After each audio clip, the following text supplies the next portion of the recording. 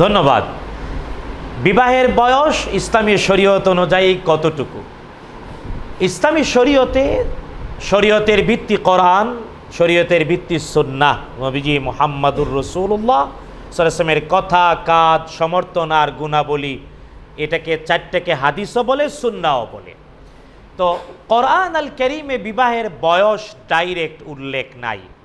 হাদিসে নবীজি সাল্লাহ ইসলাম বলেছেন বিভিন্ন হাদিসে বিভিন্ন শব্দে আছে, কখনো আছে তিনটি জিনিস দেরি করো না, দ্রুত করো। কোনো হাদিসে আছে পাঁচটি জিনিস দেরি করো না, দ্রুত করো। এর মধ্যে শ্রেষ্ঠতম বিষয় হলো, ছেলে যুবক হলো বিয়ে দাও। দেরি করো না। মেয়ে যুবতী হলো বিয়ে দাও, দেরি করো না।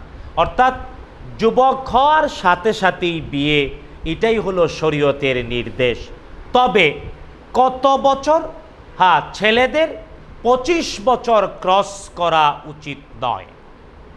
ছেলেদের পঁচিশ বছর ক্রস করা উচিত নয়। আর মেয়েদের বয়স সর্বনিম্ন কত?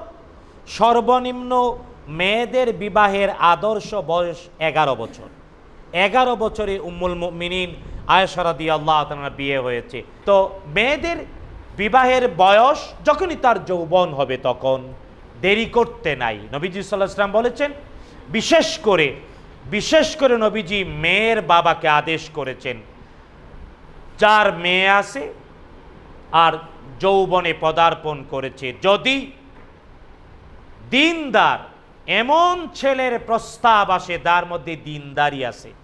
দিন বলতে নৈতিকতা। নৈতিকতা বলতে ধর্মের ধর্মের মাপ কাটিতে নৈতিকতা, তার মানে চরিত্রবান।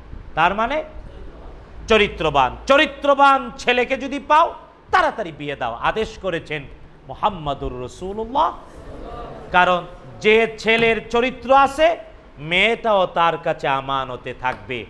আর যে আর চরিত্র নাই, এলো ডাকাত। ডাকাতের কাছে সব কিছু